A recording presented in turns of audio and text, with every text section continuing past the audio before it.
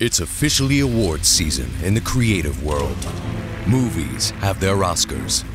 TV has the Emmys. Music has the Grammys. And for financial institutions, the most coveted creative prize is the Midas. Midas Award winners represent an elite group comprised of the top names in the financial category. But 2016 saw a new name added to the ledger, that of PenFed Credit Union. PenFed received not one, but three awards. A certificate award for best use of music went to the Great Rates for Everyone campaign.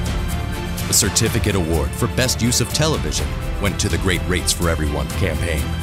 And a Midas Silver Ingot was awarded to the PenFed Foundation videos Flo and Adam for best use of film.